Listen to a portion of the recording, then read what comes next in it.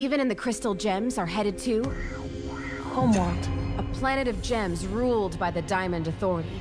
All other gems are made to serve them. They were life forms only meant to fit their mold.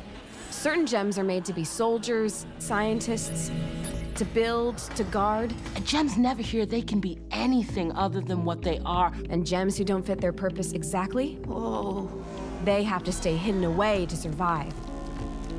To create more perfect gems, the Diamonds expanded their rule to colonies like Earth. But Pink Diamond saw there was life on her colony. We're not creating life from nothing. We're taking life and leaving nothing behind. She became Rose Quartz and formed the Crystal Gems to protect the Earth. It was an impossible fight, but we fought anyway. They wanted life on Earth to be different than life on Homeworld. The Earth is a place where we can be ourselves. The Crystal Gems stand for everything that Homeworld doesn't. Pearls on Homeworld are treated like objects. I'm only here because I'm bringing your things, and they consider me one of your things. Yeesh. But Pearl is defiant and fights for what she believes is right. I do it for me! Amethyst loves being free and having fun. Do you always use shape-shifting like this? You mean to be really cool? Pretty much. which Homeworld frowns upon.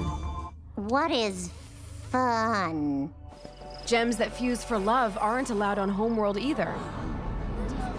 The Diamonds will never understand a powerful, amazing fusion like Garnet.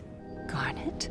Does that call herself a garnet? Oh. And Steven has a kind heart that wants to help everyone. It's Centipeetle.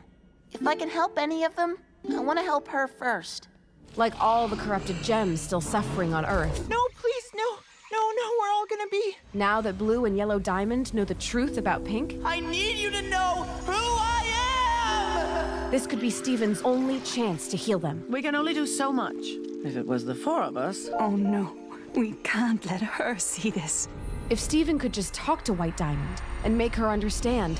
Hmm. Good luck. But will the Diamonds really listen? I don't think she understands that I'm not Pink Diamond. Can the Crystal Gems play by Homeworld's rules? Everyone stays where they belong. Can Steven handle the pressure of living up to Pink Diamond? I know I can do this. Just watch. Steven Universe, Diamond Days. The story continues on Cartoon Network.